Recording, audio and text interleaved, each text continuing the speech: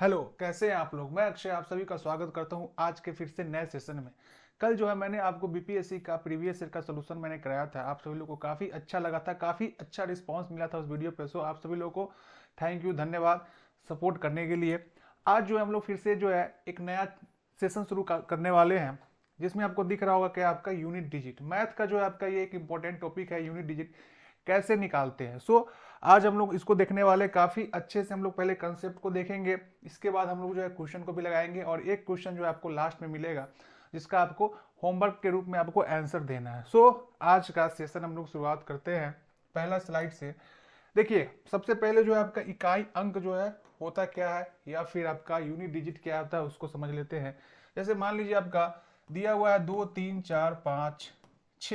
तो right side से जो आपका जो है दाएँ साइड से सबसे पहला जो आपका डिजिट होता है, या अंक होता है, क्या होता है? यही आपका क्या होता है? इकाई अंक होता है, या फिर आपका यूनिट डिजिट होता है, ठीक है? इसी को हम लोग इंग्लिश में क्या बोलते हैं? आपका यूनिट डिजिट बोलते हैं, या फिर आपका इकाई अंक हो गया। तो इसका पहले कंसेप्ट हम लोग समझते हैं कि कंसेप्ट में क्या क्या होता है। देखिए, सबसे पहले जो है, बोल रहा आपका, जब संख्या पावर के रूप में हो तो देखिएगा, एक जो है आपका बेस होता है, एक पावर होता है, दो टाइप होता है इसमें। एक क्या होता है आपका? बेस होता है, एक पावर होता है। पहले से आप लोगों को पता होगा इसके बारे में, नहीं पता है तो समझ लेते हैं। जैसे आपको पता देखे होंगे आप लोग, दो के पावर चार लिखते हैं। तो यहाँ दो क्या होता है आपका? ये दो को हम लोग क्या बोलते हैं? बेस बोलते हैं या फिर हिंदी में इसको हम लोग क्या बोलते हैं? आधार बोलते हैं, ठीक है? और ये जो आपको दिख रहा है, इसी को हम लोग क्या बोलते हैं आपका? पावर बोलते हैं। तो इसका कंसेप्ट हम लोग समझते हैं। क्या है? जब बेस का इकाई अंक, ध्यान रखना है आपको, इकाई अंक जब क्या हो? चार जो नंबर आपको दिख रहा है आपका ज़ीरो वन फाइव सिक्स। जब बेस का इकाई अंक क्या हो आपका? ज़ीरो वन फाइव सिक्स हो तो क्या होने वाला आपका? हमेशा जो है यूनिट डिजिट क्या होने वाला है? वो सेम जो है आपका संख्या होने वाला है। प्रकृति घात के लिए परिणाम इकाई जो है आपका वही अंक रहने वाला है। जैसे एग्ज़ाम्पल के तौर पर बात करें कि बेस और पावर तो आपको समझ में आ गया। जैसे मान लीजिए कि आपको जो है एक है, एक के पावर मान लीजिए आपको दे देगा क्या? 110 दे दिया। ठीक है? तो इसका यूनिट डिजिट हमेशा जो है आपका एक ही होने वाला क्या हो जाएगा? आपका वन हो जाएगा। अब जो जैसे मान लीजिए पाँच है, पाँच के पावर मान लीजिए कि एक सौ पच्चीस हो गया तो आपका कुछ भी पावर होगा, जब कभी भी संख्या जो है आपका अंक जो है लास्ट में ज़ीरो वन फाइव सिक्स हो तो यूनिट डिजिट आपका फाइव ही होने वाला ठीक है? तो ये चीज़ समझ में आ गया होगा आपको। इसी तरीके से मान लीजिए आपका यूनिट डिजिट क्या है? दो है, तीन है, छह है। इसके पावर मान लीजिए कुछ भी है, दो, तीन, चार हो तो इसमें भी आपका यूनिट डिजिट क्या होने वाला आपका छः हो। क्यों हो रहा है आपका? क्योंकि आपको ये रूल्स को ध्यान रखना है कि आपका ज़ीरो है वन है फाइव है सिक्स है। अगर लास्ट में आपका यूनिट डिजिट रहे पावर में आपका कुछ भी रहे, घात जिसको बोलते हैं, कुछ भी रहे, आपका यूनिट डिजिट हमेशा क्या होने वाला आपका? वही अंक होने वाला है। तो इसको आप लोग ध्यान रखेंगे हाईलाइट किया हुआ है। ज़ीरो वन और जो है फाइव सिक्स अब चलते हैं कि इसके अलावा कोई अंक आ जाएगा या फिर कोई यूनिट आ जाएगा तो उसको हम लोग कैसे करेंगे? तो उसको हम लोग देखते हैं। आई होप ये रूल आपको समझ में आ गया होगा। दिक्कत होगा तो आप कमेंट करके पूछ लेंगे बाद में, ठीक है? जब वीडियो देखेंगे, क्योंकि ये वीडियो जो है आपका रिकॉर्डिंग मोड में है। अब जो है संख्या आपका बच गया, अंक क्या? दो हो गया, तीन हो गया, चार हो गया, सात हो गया, आठ हो गया, नौ हो गया। ठीक है? हम लोग क्या देखे थे ऊपर अभी? ज़ीरो वन फाइव सिक्स इसके अलावा जो है आपका अब क्या बच गया था? दो, तीन चार, सात, आठ, नौ। अब ये संख्या, या अंक रहेगा तो कैसे निकालेंगे? उसका एक रूल्स है, उसको हम लोग जानेंगे। ये रूल समझ जाइएगा तो जो आपका कोई भी एग्ज़ाम का जो है आपका यूनिट डिजिट से रिलेटेड सवाल नहीं छूटेगा, ठीक है? तो इसको हम लोग जल्दी से समझते हैं। इसके बाद हम लोग क्वेश्चन या प्रश्न को लगाएँगे। तो देखते हैं, क्या बोला एक रूल्स में? तो समझ लेते हैं कि जब बेस है बेस वही बोले आपका। बेस मतलब क्या हो गया आपका? बेस ये नीचे वाला हो गया, ये पावर हो गया। जैसे आपको बताया दो के पावर सात है तो दो क्या है आपका? बेस है और ये क्या है? पावर या फिर घात। तो जब बेस का इकाई अंक जो है इसके अलावा कुछ भी रहे ज़ीरो वन फाइव तक ध्यान में रख लीजिएगा मतलब कुछ भी रहेगा तो वही अंक होने वाला है। अब जो है इकाई अंक दो तीन सा, चार सात आठ या नौ हो तो पावर में जो है आपको बोल रहा है कि चार से भाग देना है। ध्यान रखना किससे भाग देना है आपको? चार से। और जितना भी शेष आएगा वही आपका बेस के इकाई अंक पर क्या डालेंगे? पावर डालेंगे। अभी इसको समझाने वाले एक्सप्लेन करेंगे अभी। जब चार से जो है आपको पावर पूर्ण तक कट जाता है एक तो दो चीज़ होगा। एक तो चार से जब भाग दीजिएगा किसी चीज़ में तो एक तो शेष भी आ सकता है, पूरा कट जाएगा। तो दोनों केस है आपका। जब पूरा कट जाएगा तो इकाई अंक पर जो है आपका, वही पावर जो है चार को रख देना है। ठीक है? यही बोला है रूल्स जो परिणाम आएगा उसका ही, इकाई अंक क्या होगा। तो अब हम लोग इसको एक्सप्लेन करते हैं, समझते हैं। इंग्लिश में भी सेम चीज़ है। तो इसमें आपने क्या क्या सीखा? सबसे पहले आपको ध्यान रखना है ज़ीरो वन ज़ीरो के बाद वन आता है तो ज़ीरो वन याद हो गया। फाइव के बाद सिक्स आता है। तो इस तरीके से याद रखना। चार अंक अगर आपका रहेगा, ज़ीरो, वन, फाइव, सिक्स तो आप क्या करेंगे? यूनिट डिजिट वही रहने वाला, चाहे पावर कुछ भी हो। एक लाख पावर हो, दो हो, तीन हो, चार हो, ठीक है? अब जो है आपका दो, तीन, चार, सात, आठ, नौ है, उसको हम लोग समझते हैं, ठीक है? समझिएगा। ये क्या था? पहले आपने सीखा है, ज़ीरो, वन, फाइव, सिक्स रहेगा तो आपका यूनिट डिजिट वही रहने वाला है। सेम यूनिट डिजिट जो है आपका, सेम रहेगा। ठीक है? ये हम लोग देख लिए हैं। इसमें कोई दिक्कत नहीं होगा। अब जो है आपका संख्या क्या क्या बच गया? आपका अंक टू बच गया है, थ्री बच गया है, फोर बच गया है, सेवन बच गया है, एट बच गया है, नाइन बच गया है। इस सब के लिए जो है रूल्स जो है क्या था उसको समझते हैं। पावर कुछ भी हो, जैसे मान लीजिए कि यहाँ पे आपका तीन है, चार है, दो है। इसके पावर जो है, मान लीजिए यहाँ पर जो है आपको सिक्सटीन दे दिया या फिर सेवनटीन दे दिया है, ठीक है? तो आपका काम क्या है? सबसे पहले यूनिट डिजिट निकालना होता है। तो आपको जो सिर्फ़ इकाई अंक से ही मतलब है, बाकी इसके पीछे को कुछ नहीं करना है। तो इसको अपने से क्या लिखेंगे? दो के पावर सत्रह, ठीक है? अब दो के पावर सत्रह है तो यही पावर में बोल रहा था आपको चार से भाग देना है, ठीक है? चार से भाग इसमें देना है? ये जो पावर या फिर घात जिसको बोलते हैं तो सत्रह में भाग देंगे तो कितना हो जाएगा? चार चौका सोलह। शेष कितना आ गया आपका? एक आ गया। अब इसी शेष को जो आया है ना, इसी शेष को जो है आपको इस पे रख देना है, दो के पावर एक। अब आपको पता है दो के पावर एक कितना होता है? दो होता है, ठीक है? तो इस तरीके से ये सवाल बनेगा। एक केस आपका हो गया। अब दूसरा केस बोल रहा है कि मान लीजिए तीन सौ बयालीस ही रहता, लेकिन अब जो है पावर क्या है? आपका सोलह है। तो अब इस केस में क्या हो रहा है कि आप सोलह को जब भाग देंगे चार से चार से ही भाग देना, हमेशा आपको चार से ही भाग देना, ध्यान रखना है। चार से आपको भाग देंगे तो सोलह बार में कटेगा। अब जो है रिमाइंडर तो कुछ नहीं आ गया, ज़ीरो आ गया। रिमाइंडर नहीं, ज़ीरो आ गया ना। इस केस में क्या था? वन आ रहा था तो पावर वही वन को रख दिया था।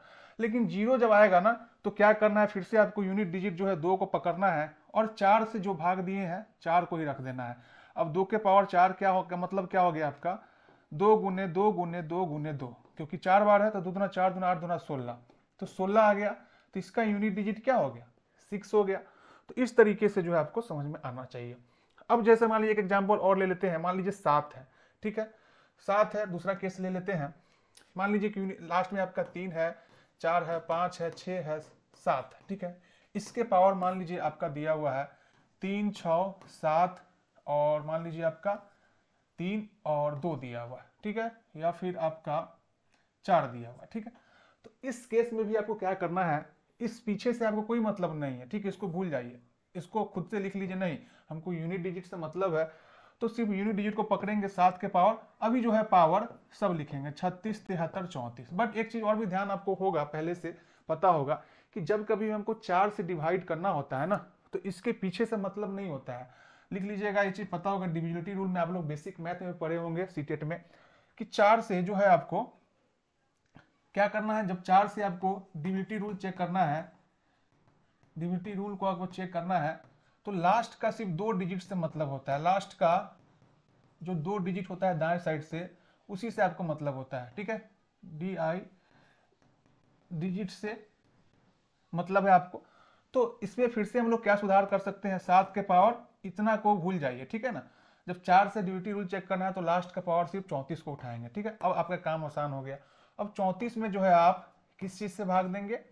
चार से, चार अठे बत्तीस शेष कितना आ गया? आपका दो आ गया। अब जो शेष आया उसी सात के पावर का आपको रख देना है। तो सात के पावर कित, स्क्वायर कितना होता है? उनचास। तो अब जो है आपको पता चल गया कि यूनिट डिजिट क्या होने वाला इसका आंसर आपका नौ हो जाएगा। ठीक है? एक हम लोग फिर से ज़ीरो वाला केस समझते हैं। इसके बाद हम लोग क्वेश्चन को लगाएँगे। जैसे मान लीजिए फिर से आपको दिया हुआ है तीन है पाँच है छ है सात है और जो है आपका यहाँ पे मान लीजिए कि आठ ठीक है? आठ है। अब जो है आपका पावर जो है आपका तीन चार चलिए, इसको जो हम लोग अभी डायरेक्ट टेक कर लेते हैं। जैसे मान लीजिए बत्तीस पावर दे दिया आपको। इसमें बोला आपको यूनिट डिजिट निकालना है। तो क्या करेंगे, फिर से इसको जो है भूल जाएँगे आप। आठ के पावर क्या लिखेंगे? बत्तीस। अब जो है बत्तीस में क्या, किस चीज़ से भाग देना हमेशा आपको चार से ही देना है। चार अट्ठे बत्तीस। कटेगा आपका रिमाइंडर ज़ीरो आएगा जैसे ही रिमाइंडर ज़ीरो आएगा तो आठ, बत्तीस के जगह पे क्या हो जाएगा? आठ के पावर आपको चार लिखना है। अब आठ के पावर चार को सॉल्व करना आसान है। क्या लिख सकते हैं इसको? आठ गुने आठ गुने आठ गुने आठ, चार बार लिखेंगे। तो अठी चौंसठ, फिर से आपका आठ गुने आठ कितना होता है? चौंसठ।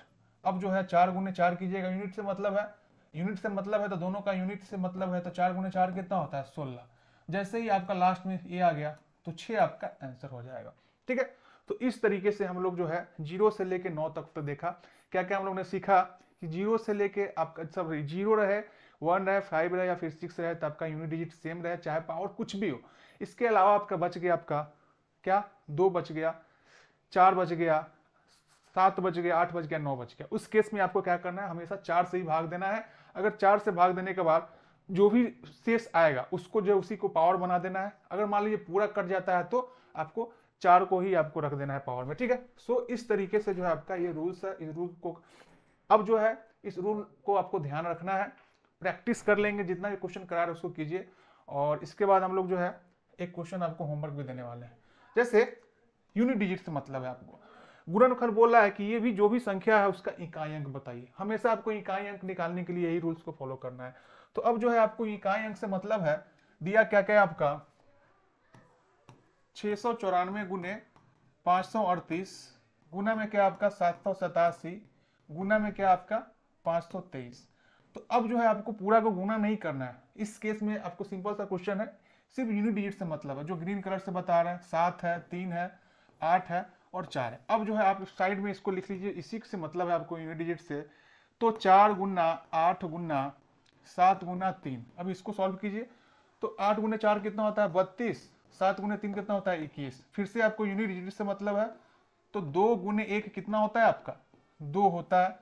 तो इसका आंसर क्या हो जाएगा आपका? दो हो जाएगा। तो इस तरीके से ये सवाल बनेगा।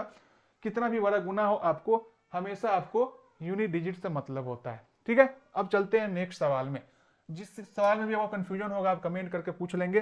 पिछला जो वीडियो था, उसमें जो है आप सभी लोगों का काफ़ी अच्छा सपोर्ट मिला रिस्पॉन्स मिला, प्यार मिला। उसके लिए धन्यवाद थैंक यू इसको भी उसी तरीके से देखिएगा शेयर करते रहिएगा आप लोग। अब जो है इस केस में देखते हैं, सात के पावर क्या है आपका? 105 है। तो देख रहे हैं ना आप, सात है। तो यहाँ पर क्या हो जाएगा आपका? सात जब रहेगा तो सात के पावर 105 है। तो अब जो है आपको 105 में किससे भाग देना है आपको? चार से। हालाँकि आप ज़ीरो पाँच में भी चार से भाग देते तो शेष एक आ रहा है, लेकिन फिर भी बता रहे हैं आपको, चार दूना आठ, एक गया आपका दो, पाँच। चार छः का चौबीस। शेष आपका क्या आ गया? एक। अब इसी शेष को जो है सात के पावर आपको रख देना है, ठीक है?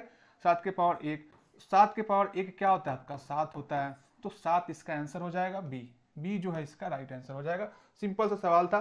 जब आप कंसेप्ट समझ जाएँगे तो विदाउट पेन भी सवाल को बना सकते हैं, ठीक है? तो इस तरीके से बनाएँगे। नेक्स्ट सवाल हम लोग चलते हैं नेक्स्ट क्वेश्चन जो है आपका। फिर से आपका सवाल जो देखने में आप थोड़ा सा बड़ा लग रहा है बट बहुत ही आसान इसका आंसर होने वाला जब समझ जाएँगे तो आप विदाउट पेन बनाएँगे। जैसे इकतालीस है, सैंतीस है। इकतालीस है, सैंतीस है। मान लीजिए यहाँ पर पाँच रहता। यहाँ पे लास्ट में पाँच रहता तो डायरेक्ट पाँच आंसर हो जाता। तो यहाँ पर सात है। अब जो है आपका पावर क्या है? सात सौ चौवन है। तो आपको फिर से इसको भूल जाना है। सिर्फ़ सात के पावर क्या लिखना है आपका? सात सौ चौवन। चूँकि मैंने बताया है कि आपको चार से ही भाग देना है तो लास्ट का दो डिजिट से मतलब है। पूरा में भाग आप दे सकते हैं तो क्या लिख सकते हैं इसको और आसान बनाने के लिए? सात के पावर चौवन। अब चौवन में भाग भाग दीजिए चार से। चार इकाई चार, एक, चार तीन बारह, दो। तो क्या हो जाएगा? दो। दो आपका शेष होने वाला है, ठीक है ना? तो जो शेष आपका आया है, उसी को पावर में रख देना है। तो सात के पावर दो, सात गुने सात कितना होता है? या सात के स्क्वायर उनचास। तो यूनिट डिजिट क्या आ गया? आपका नौ। तो नौ will be the right answer of this question C जो है आपका, इसका आंसर होने वाला है। देख रहे हैं कि अब तक मुझे लगता है कि समझ में आ गया होगा चीज़ें कैसे काम कर रही है आप लोगों को। फिर भी हम लोग चलते हैं नेक्स्ट क्वेश्चन करते हैं। क्वेश्चन नंबर फोर अब जो इस तरीके से प्रश्न पूछेगा थ्री के पावर क्या आपका? सिक्सटी फाइव गुने सिक्स के पावर जो है आपका फिफ्टी नाइन है। गुना सात के पावर कितना है? इकहत्तर है। तो आपका सिंपल सा है आपका। अब क्या करना है? पहले इसको सॉल्व करना है, फिर इसको फिर इसको। तो पैंसठ है। तो पैंसठ में आप चार से भाग देंगे। तो क्या हो जाएगा आपका? चार इकाई चार। चार छक चौबीस। तो रिमाइंडर कितना आ गया? वन आ गया। तो इसको क्या लिख देंगे आप? तीन के पावर वन इसका काम हो गया। अब जो है उनसठ है।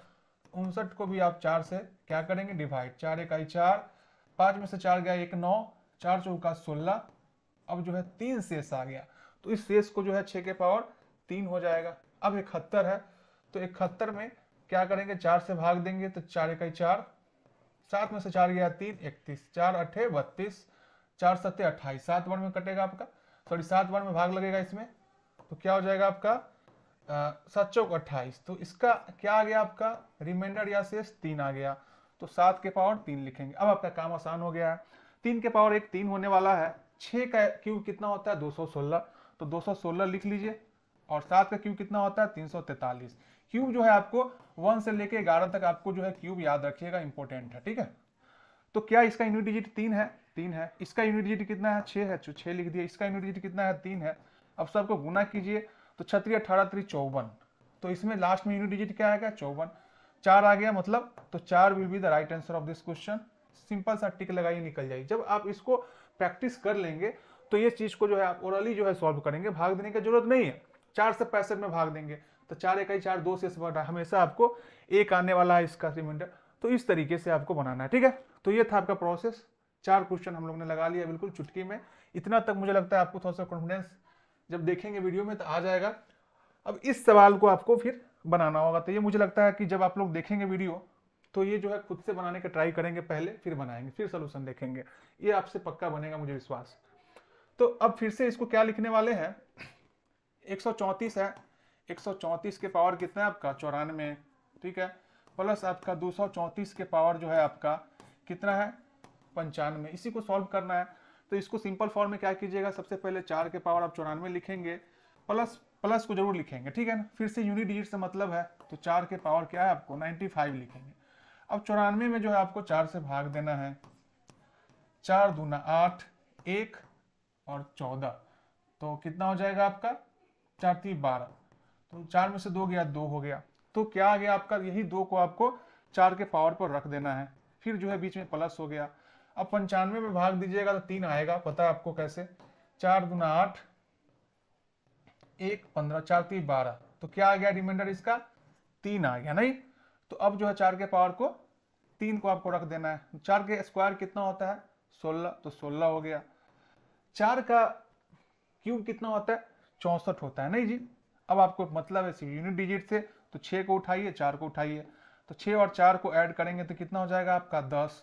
जैसे ही दस आ गया तो आप ज़ीरो को टिक लगाएँगे और बोलेंगे, अब हो गया बस। ज़ीरो पर टिक लगाएँगे आंसर निकल जाएगा। फाइव का क्या हो जाएगा? ज़ीरो आपका हो जाएगा ए आंसर हो जाएगा। तो इस प्रश्न को जो है आप लोग जब बनाएँगे तो आपका भी ज़ीरो आएगा। चार क्वेश्चन में मुझे लगता है कि आप लोगों का डाउट सारा क्लियर हो गया हो गया होगा। पांचवा क्वेश्चन आप खुद से बना लेंगे, मुझे ऐसा लगता है। ठीक है? अब जैसे मान लीजिए एक क्वेश्चन ऐसा भी आपको आ सकता है। जैसे मान लीजिए, एक क्वेश्चन आपको देते हैं या पहले बता देते हैं। एक क्वेश्चन ऐसा भी आ सकता है कि जी मान लीजिए दो है, तीन है, चार है छ है और पाँच है। इसका पावर जो है, क्या हो जाएगा आपका? दो है, तीन है, चार है, सात है, आठ है। तो जैसे इसको आप देखेंगे स्माइल करेंगे, बोलेंगे इतना बड़ा है, लेकिन इसका यूनिट डिजिट अगर पूछेगा तो आप जो है क्या बोलेंगे? विदाउट पेन किए हुए यूनिट डिजिट क्या होगा इसका? फाइव हो जाएगा, नहीं? क्यों? क्योंकि मैंने आपको बताया है ज़ीरो वन फाइव सिक्स अगर दिखे आपको बेस में तो आपका आंसर जो है वही होने वाला है। सेम तरीके से मान लीजिए आपको दे देगा, तीन दे देगा, चार दे देगा पाँच दे देगा, सात दे देगा, छह दे देगा, और इसके पावर कुछ भी दे दे, तीन दे दे, दो दे दे, एक दे दे। तो आपको पता है यूनिट डिजिट क्या है आपका? छह है। रूल्स आपका क्या है? ज़ीरो वन फाइव सिक्स जब भी आपका बेस का यूनिट डिजिट रहे तो डायरेक्ट आपका आंसर छः हो जाएगा, ठीक है? सो आई होप मैंने आपको एक्सप्लेन करने का कोशिश किया है, सब कुछ आपको समझ में आ गया होगा। ठीक है? तो आप वीडियो देखेंगे तो बताएँगे भी कैसा लगा सेशन और शेयर भी आप लोग कीजिएगा। और आपके सामने प्रस्तुत है एक क्वेश्चन जो कि होमवर्क है। आप लोग इसका आंसर मुझे कमेंट करके बताएँगे। मैं कमेंट का रिप्लाई भी करता हूँ अभी, ठीक है ना? आपका पुराना वीडियो पर सारा कमेंट का मैंने रिप्लाई किया है। काफ़ी अच्छा लगा, काफ़ी। तो आपको क्या करना है? इसको होमवर्क है, इसको जो है आपको बनाना है। और आंसर जो है कमेंट करके बताना है। और इसी के साथ आज के सेशन यहीं तक। इसी तरीके से आपका जो है अभी फ़िलहाल वीडियो जो है आपको लाइव क्लासेस भी हम लोग लेंगे बट वीडियो अभी अपलोड ही होगा। सो आई होप ये वीडियो जो है आपका, आपके लिए हेल्पफुल हो। चाहे आप बीपीएससी का पेपर दे रहे हो या फिर कोई भी कंपटीशन एग्ज़ाम का, या फिर आप एसएससी बिहार एसएससी या फिर किसी भी एग्ज़ाम का हो कंपटीशन एग्ज़ाम का, ये सब कंसेप्ट अगर समझ जाते हैं तो एक नंबर का सवाल आता ही आपसे सवाल नहीं छूटेगा, ठीक है? तो इसी के साथ आज का सेशन यही तक। थैंक यू सभी को जो है देखने के लिए, समय देने के लिए और कमेंट देने के कमेंट करने के लिए। तो जो लोग भी नए होंगे सेशन को बताएँगे कैसा लगा है और लाइक कीजिएगा सब्सक्राइब कीजिएगा और शेयर भी कीजिएगा अगर आपको अच्छा लगा है तो। और जो भी पॉइंट आपको करा रहा है, जो भी टॉपिक वाइज करा रहा है, उसका आप लोग नोट्स भी बनाइएगा, ठीक है? इसी के साथ आज का सेशन यहीं तक। मिलते हैं हम लोग नेक्स्ट सेशन में। तब तक लिए बाय टाटा टेक केयर